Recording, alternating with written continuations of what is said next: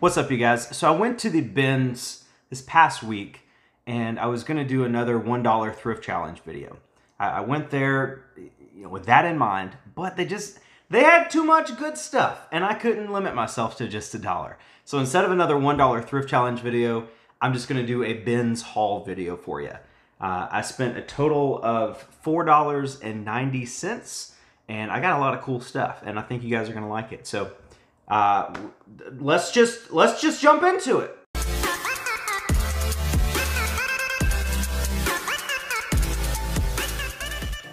So again, just to uh, just to clarify, if you don't know, the bins it's the Goodwill Outlet Center where everything is just compiled in a bunch of a bin, a bunch of bins. That's why they call it the bins. But you buy it by the weight. Uh, so if the Goodwill bins where I'm from, every Wednesday, Thursday, and Friday, they have a half off sale after 4 p.m. I believe, where everything is half price. Normally it's a dollar and 39 cents a pound.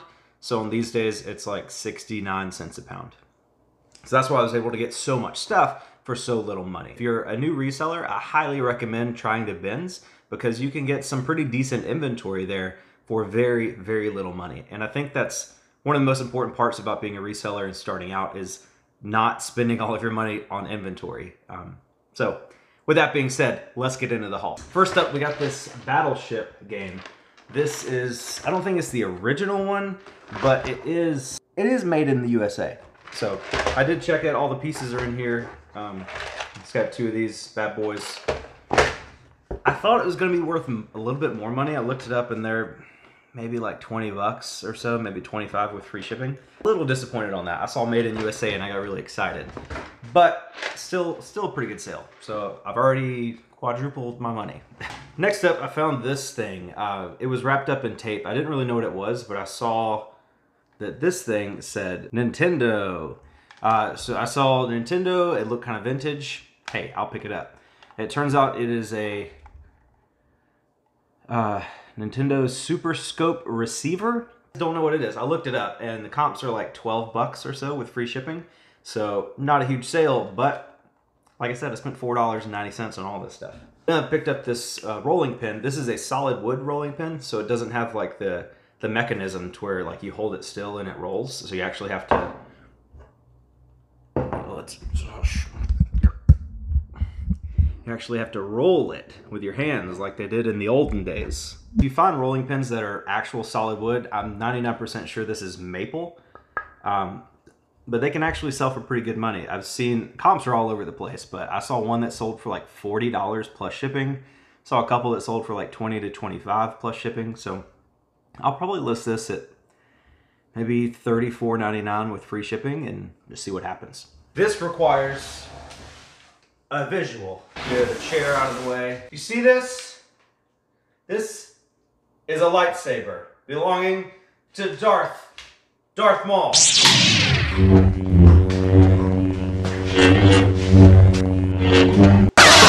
Oh. This back. Unfortunately, it doesn't light up or make sounds, uh, and it's missing one of the little red buttons. It's supposed to have a button there. But still, I think I could probably get like 15 to 20 bucks for it, um, plus shipping. So again, adding to my total. Then I saw this. I see like drone controllers all the time, but most of the time they're not really worth any money. I saw this, I noticed a little metal like flippy switch on it. Usually, if you see a plastic controller with metal switches like this, that's generally a sign that it's for a, a, a higher quality drone. Um, so I took the time to look this up. It's really easy because it's a huge model number right there. Sold comps on this one, I think, were anywhere from like 25 up to like 40 bucks or so. So I'm not going to be able to test it uh, with a drone, so I'll have to list it as untested, but I can probably get like 25 bucks for it plus shipping. so next up, just to dump it all out. I'm to show you one by one, okay? The first one I found was this. This is a golf club head cover. Uh, these are basically protective covers that go over expensive golf clubs. When new drivers come out, they all have their own head cover that has like the model of the of the club. So if somebody has this uh, driver and they lose the head cover, people lose head covers all the time. So if people lose them, they want to get the same one, the one that's for their specific club. So then they go to eBay. This one's in pretty decent condition. There's a couple little uh, like thread pulls right here that I'm just gonna snip those off. And then there's some like wear right there. But um, it's not like dirty or stained or anything. So I think I could probably get about 12 to $15 for this one plus shipping. And then I also got all of these. I found I found the first one and uh, I was like, oh, that's cool. I'll get that. That's really lightweight and it won't add a, a bunch of money to my total. And then in the next bin, there were all these. So a couple of them, like couple of them are a little lower value. Like this is for a hybrid iron, a Titleist 915H. This one might be more of a long tail item, maybe like five or six dollars plus shipping on that. This is for a TaylorMade M3. I think this is a fairway wood, maybe like five bucks on that plus shipping. This is for a Callaway XR. Um, again, fairway woods and, and lower, like three woods and five woods, don't really. I mean, I, I got them because there's money to be made. I'll probably sell this one, this one, and this one, the M4 and M3. Uh, these are like fairway irons, so I'll sell these together in a set. Maybe ask like ten dollars for these plus shipping. Uh, this TaylorMade burner, um, it's a little dirty. I might try to buff that off with like a, a magic eraser or something. And this is for a four Oh wait, no, it's this, oh, it's changeable. You can change it from a three to an X to a seven, five. So this is like a, I don't know. That's interesting. I'm gonna have to look that up. I don't know what it's worth. Nike Vapor, um, Nike Vapor 2. I guess that's like a two iron. I, I, don't know. All of these these weird ones aren't worth a ton of money. Like like I said, five to seven, eight dollars on each. But then the rest of these are putter head covers. If you ever find putter head covers, they're probably the most valuable um, outside of drivers because putters, golfers really want their putter to be protected because if your putter gets a little ding in, in the face of it, when you're hitting the ball, it can really throw your ball off track. So people are always looking for covers for their putters. This one is for a Wilson Staff Infinite. Um, Wilson Staff isn't that great of a brand, but I could probably get like eight to ten dollars for this one. This is for a Ping Karsten putter. Um, nice Velcro, really protective case here. Um, probably 15, maybe 15 to 18 dollars. This is for an Odyssey Ghost. Odyssey, wait, no, no, this one, no, this was TaylorMade. TaylorMade Ghost. Uh, TaylorMade is a great golf brand to look out for, clubs and head covers. Probably 15 to 18 on this one as well. And this one is the Odyssey Works putter head cover. Um, Odyssey is probably one of the, it's definitely one of the top brands of putter, if not the best brand of putter. Um, maybe second to like Scotty Cameron or something. So, I mean, all the head covers together I would look at at least fifty to sixty dollars in profit on those. Um, so fifty to sixty in profit on the head covers. Let me just write it down. Okay, so let I'll, I'll be super conservative because I know in haul videos and when you when and if you tell people how much you're going to sell stuff for in haul videos, people are going to be like, "Oh, you're never going to get that much for it." I'll be very very conservative. Let's say fifty dollars in profit for all the head covers. We'll say 10 for the lightsaber, 10 for the battleship, 20 for the drone controller, 10 on the rolling pin. Is that it? Oh, and then the Nintendo thing, let's say 5. So even being very, very conservative, we still got 50, 60, 70, 80, 90, 100, 105. Okay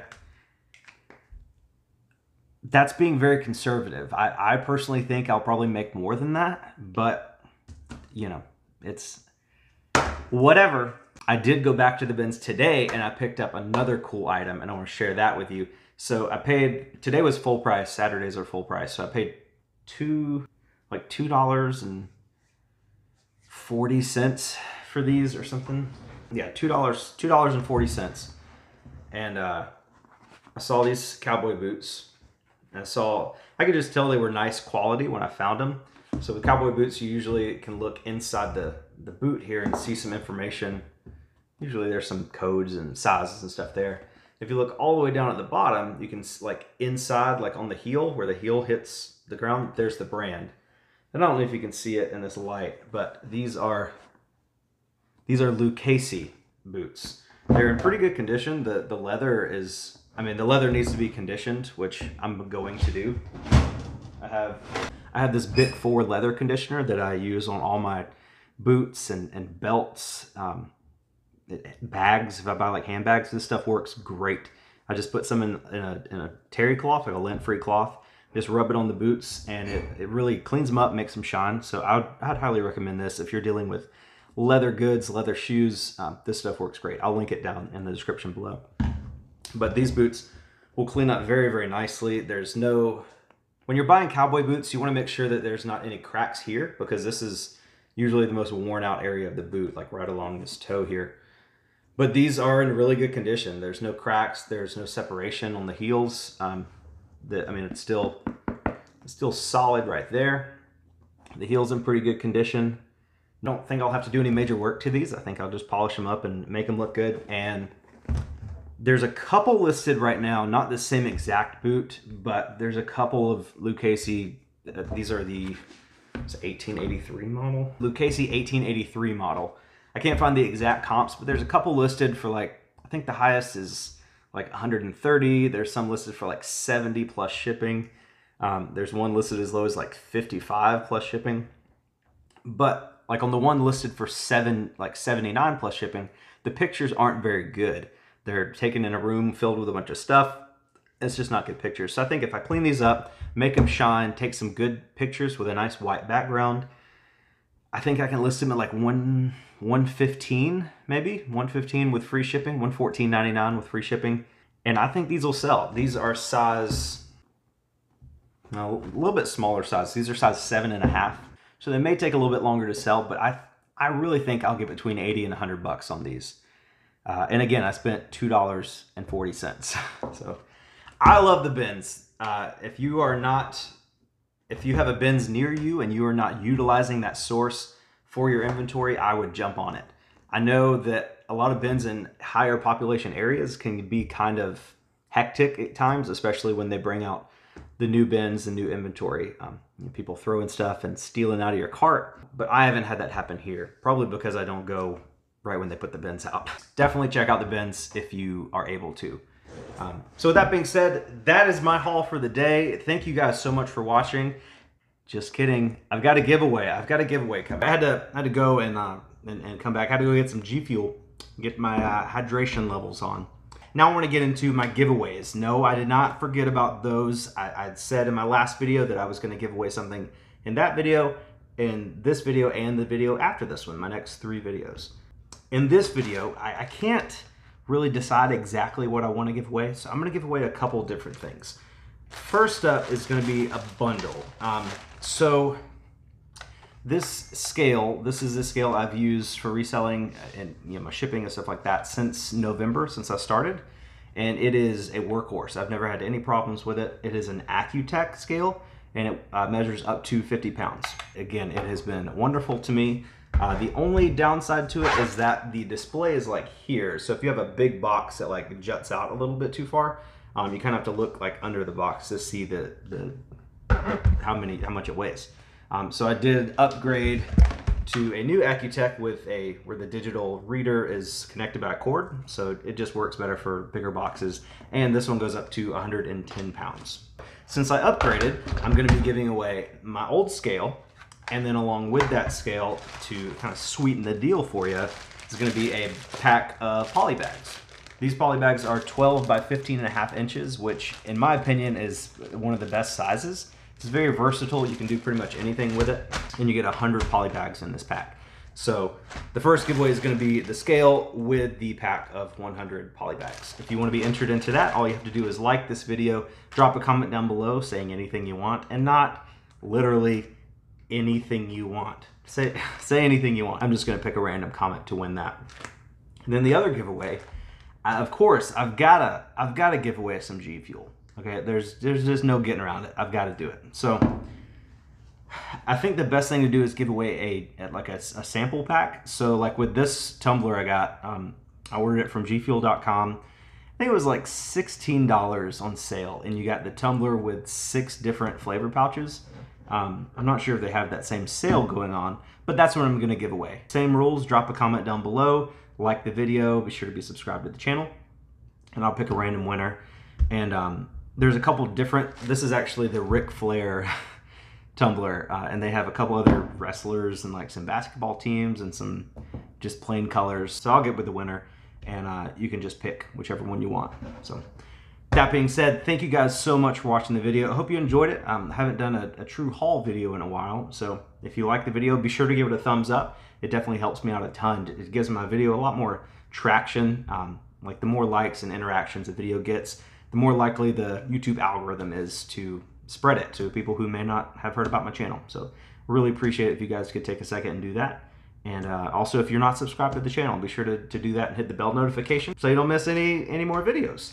So anyway, I'm rambling. Thank you again so much. Uh, happy Saturday. Go play outside. If it's good weather, get outside, go throw a frisbee. Uh, look out for snakes. Thanks again, guys. I'll see you on the next one.